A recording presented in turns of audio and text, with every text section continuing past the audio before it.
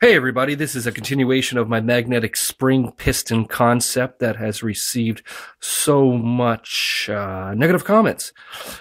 But uh, let's follow through. Okay, what I have here are two sets of magnets with a spring in between. These are an attraction. Put them in this shaker flashlight tube.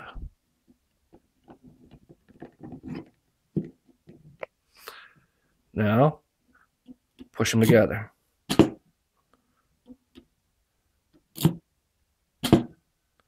There is a point where the magnets pull together in attraction. It's right about, you hear it. There. When the spring all comes together, becomes all one magnet, and it pulls it together. I have it set up so it repels, or pushes off, not repels, but springs back as soon as it goes down uh, which is kind of tricky to do. Took a lot of experimentation. Uh, the idea is to have the spring slightly stronger than the magnets.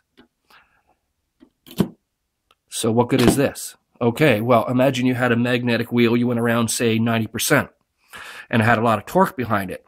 At the point where it was just before it's about to stop, it pushes this down, such as in a radial engine or a boxer design. It pushes this down. It hesitates it moves to the strongest magnet. It's about to stop. At the point where it's about to stop, you could put one of these here. And just as about to stop, it would pull this piston rod back up just slightly and initiate the spring release. In theory, it may just have enough energy to continue on and start the loop again. That's a concept of this idea. That's what that whole video was all about. So I've put this together to show you. I've actually used one of these. This is a shaker flashlight. Uh, I used one of these to put in a shaker flashlight, and what I was doing was I was pumping it like this, like a syringe, and uh, instead of having to shake it up and down like that. So that way it could go a lot faster, and it would look a little better in from a distance. So, anyways, uh, oh yeah, and I put a I put a joule thief in that flashlight, and I just I just kept pumping it and pumping and pumping, and the joule thief was just uh, the toroid was whistling away. I, I regret not videotaping it, but I uh, I destroyed the transistor by putting too much uh, too many pumps into it too fast.